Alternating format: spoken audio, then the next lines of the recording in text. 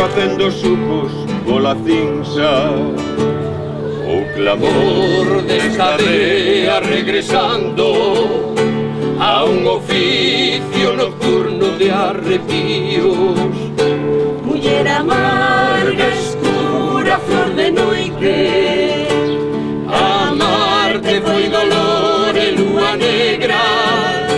Muller amada, chega a nosa vida. sabios que Vicache ja són terra. Terra nutritiana y onda fondamos, somos raíces procurando saibar. Para gromar de nuevo en primavera y orlanche a fronte con grinaldas verdes. Mujer de amor, escribe o no sonoro este túnel de morte que nos cega. Non escribas coa tinta dos exilios. Molla tua pluma na luz do sol primeiro. Convoco vos a loita en desespero coa palabra xa cansa de derrotas. Que o silencio está acabando cos menceres e a razón non aluma cal de veras en xustiza, nen xuizo, nen sentencia. Que nos comen os tecnócratas traidores Que só pensan que o vivir é fría cadea para os outros Non para eles que o gobernan E uns tras outros producen en ringleira profecías de novas primaveras Chaqueteiros, mentidores, salvapatrias que se agachan por detrás da ramalleira para usaren a mudez como resposta un sorriso perverso de rastreiros e humillante labor de tirar pedras desde a sombra, como sempre, e fan burlas en que os vexan. As revistas da neutra posición que nada arrisca, que engaiolan os coitados por algunha convenencia ou aqueles que vencidos nunca soñan nin esperan. E ainda así, coa fatiga das batallas venceremos como non co orgullo da lingua por bandeira, pois é nosa, é só nosa, a nosa terra. E terán que devolver canto furtaron, convertendo en dozura a súa dureza, e un a un proclamar os silenciados como non a máis ruín das súas miserias na ilegal usurpación dun breve soño, ver Galicia gozando a súa existencia e os galegos convencidos na autoestima, rexeitando dunha vez, dunha por todas, a mentira, a ruindade e tanta merda que nos levan os traidores talvapatrias que nos levan pola corda para condena e o silencio está acabando cos menceres e a razón non aluma caldevera confundindo a nosa voz. E no furto da memoria facendo nesta loita a néboa aínda máis mesta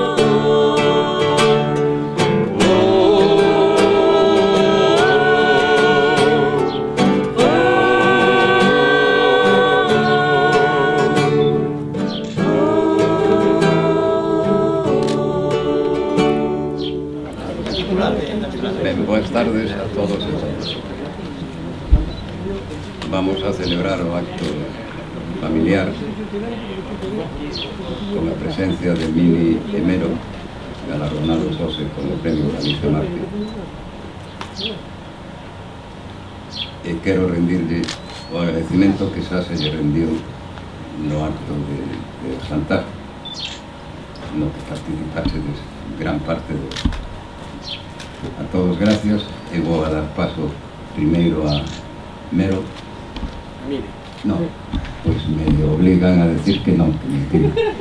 Que é Mini o que vai a falar en este Estamos hoxe aquí para recibir o premio que outorgades nesta ocasión a dous cantores que no seu exercicio volven atrás sobre das pasadas, sobre de palabras esquecidas para relatar tempo tempos silenciados intencionadamente e porque alguén lle convén. Gracias pola vosa xenerosa consideración e por estimar en demasía a nosa cativa contribución á recuperación desta feliz memoria, a da nosa historia máis recente, con feitos e con tantas víctimas aínda, nin sequera coñecidas nin enumeradas. Trátase sinxelamente de ser e querer ser, de estar e saber estar, de aprender do exemplo que deron, O certo é que sabemos que o noso povo está enfermo da memoria, enfermo desa amnesia deliberada que produce a serie residir da expresión facial, a ausencia mesmo de nós mesmos, ensimesmamento e dureza de carácter con ausencia de vontade de ser. Esta é a nosa crise, a nosa máis grande crise. Non facemos o exercicio de reflexión, de regresar e evocar o pasado para pronosticalo e nel sentirnos protagonistas de nós, para aprender para saber onde vimos e, en definitiva, onde estamos e quen somos. Estamos desorientados. Tan desposuídos nos deixaron que cremos non ter sequera pasado, Anque ben sabemos temos o noso mapa de Galiza marcado por paisaxes fermosísimas de brillos e florecemento, e tamén páxinas de terror e de silencios, por cunetas e fosas que arredadas baixo a lousa enorme dunha mestra nube de escuridade non son outra cousa que medo á verdade foron un por se negar a usurpación do lexítimo, por decir que non a esta barbarie, barbarie que xa se aventaba. Matáronos porque pensaban e porque pensaban nunha Galiza máis xusta e para todos. Merecen todo o noso recoñecemento agradecido. Mantiveron a dignidade e gardaron a honra, tamén a nosa. Por iso queremos sabelos, que se diga a verdade, restituirlles a honra, enmendar aquel tráxico erro. Queremos lembralos e aprender deles, de ti, Alexandre Bóveda, daquilo que deixaches dito nunha carta sobre a, neces a necesaria unidade, na concordia de todos os nacionalistas e galeguistas, sen caer na tentación de romper en cachos de cara ás eleccións do 36. Sensibilidades diversas, sí. Acentos diversos tamén, pero concordando na causa esencial, Galicia. En pé, e sendo ela, axudando a serguer os demais povos da terra. Ninguén falou de vinganzas por mor da nosa memoria, só a ansia de reposición, aínda que ben sabemos que ese é o temor dos verdugos, porque a propia luz pode sinalalos. Foi tanto mal que nos fixeron, e aínda por riba deformaron a historia dun xeito tendencioso preñado de mentiras. E de tanto contárnola así, Mesmo nós fomos quen de deformar os feitos de a súa interpretación para facelos de algún xeito asumibles. Tantas foron, tantas son as traicións que nós, todos nos en saber, inventamos argumentos cribles que nos puderan dar paz en tanta ignorancia, sen saber sequera a quen culpar. Non sabemos donde procede tanto rancor, tanta dor. A doutrina se nos desde pequenos a ser sumisos, consumidores voraces do que nos venden, que non é máis nin menos que a ruína en forma de funcionamento insostible dun sistema por eles inventado. Vimos desconectando da nosa esencia xenuína e única, persoal, da nosa memoria, semente de dignidade e liberdade. Que imposición!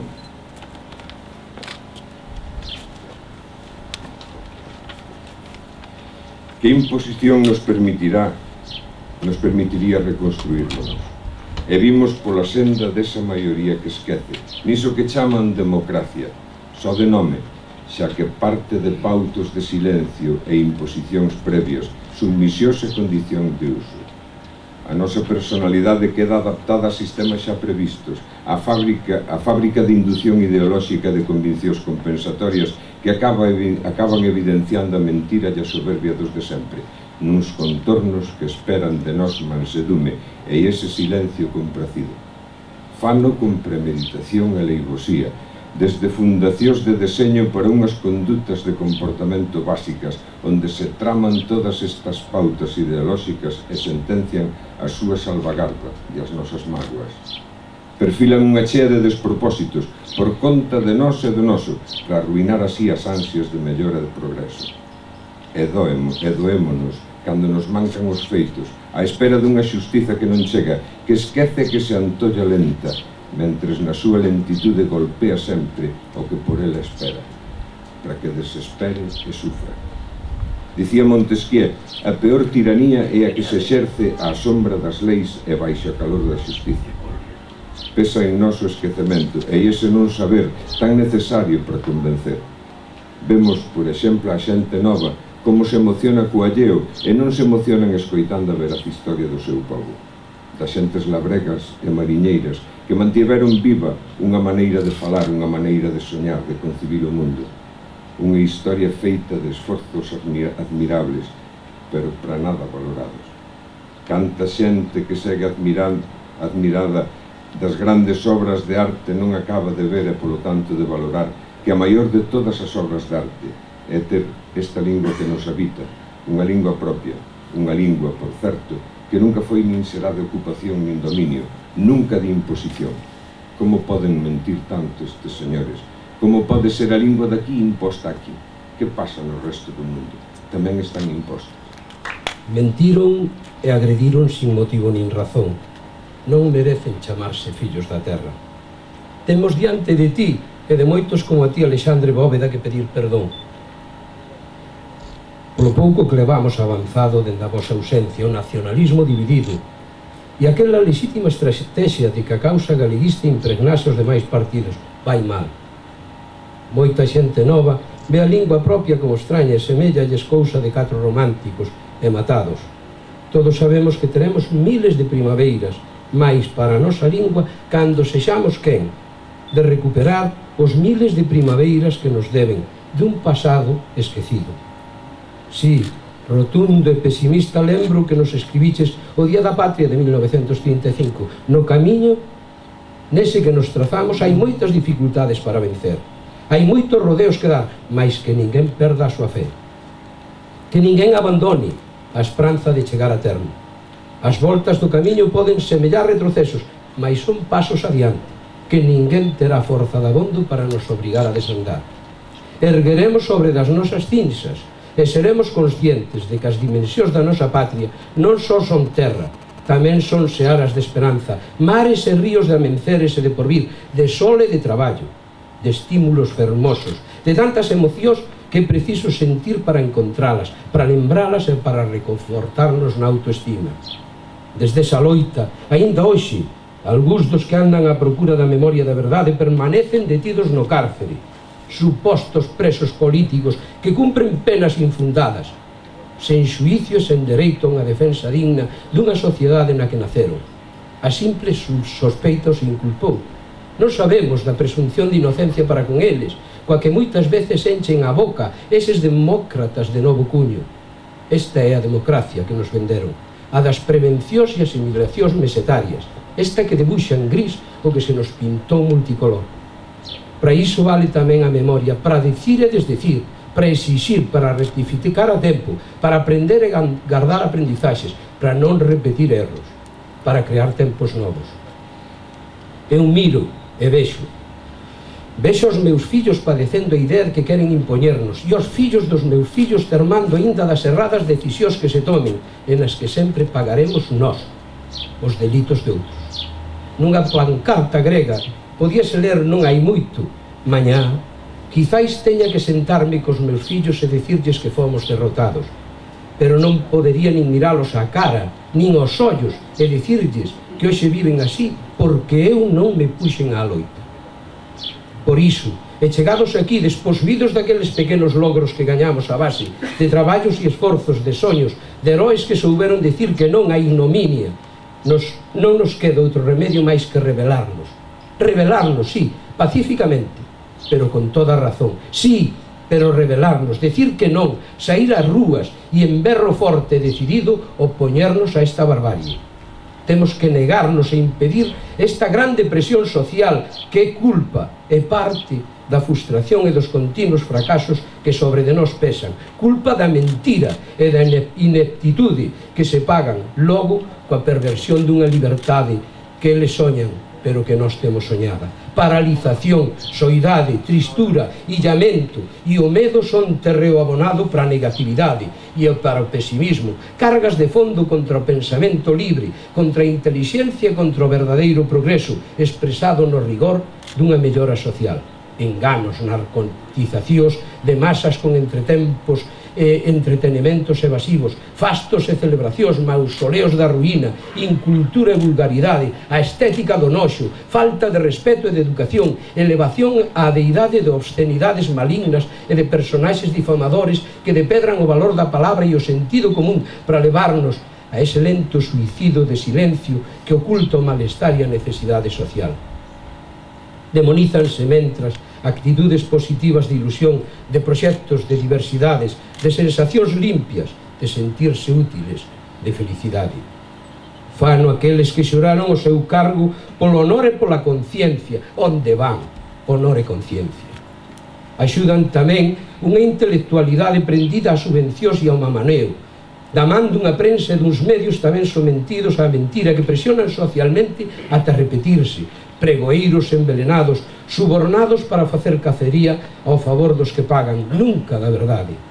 Cunha igrexa tamén anquilosada, na contradición da que debera ser a súa praxe. Van con xuíces que tragan, cunha caste miserable de empresarios e de políticos que nos trouxeron aquí, aonde estamos, para chegar á evidencia do seu cinismo. Traenos directamente o abandono, a tristeza do ánimo, o conformismo e mesmo a resignación roubáronos, polo tanto, a vontade e tamén os sonhos. Esquecemos os principios de liberdade asentados na, dignidade, na, na dignidade e a tamén na confianza de nós, a que nos afirma de novo e nos fai recoñecer que todos nós somos en moito parte importante do que fomos. Lembrar convértese pois nunha necesidade recuperadora. Compra memoria do noso ser, compre amarse para poder amar, compre empezar por creer en nós mesmos. Compre dicir que non, dunha vez e unha vez máis, a tanta destrucción. Compre facer, compre empezar a corregir conseguir, sabendo que xuntos multiplicamos forzas, pero separados somos alimento fácil deles, dos que dividen e matan, dos que dividen para matar tamén. Temos que nos repoñer diante de tanto recorte na inteligencia, na tenrura, na vida, na educación, no goce, na sanidade, nos dereitos sociais equilibradores, nos apoios aos máis débiles. Non podemos abandonarnos a traidores, aos que están sen corazón cando xustifican o dano xeral polo beneficio duns poucos témonos que chantar diante a inmoralidade e o esquecemento, que é o que xera a nosa pobreza e aniquila o futuro dos nosos fillos, as nosas propias esperanzas hai que reaccionar, hai que manifestar en pé de dignidade o noso desacordo. Non lles chega o seu cinismo, agora queren nos roubar tamén o pasado. E que o paguemos con presente e con futuro. Só nos queda esa revolta e a insumisión diante do noso aniquilamento é a loita pola supervivencia. E ben, grazas por este premio.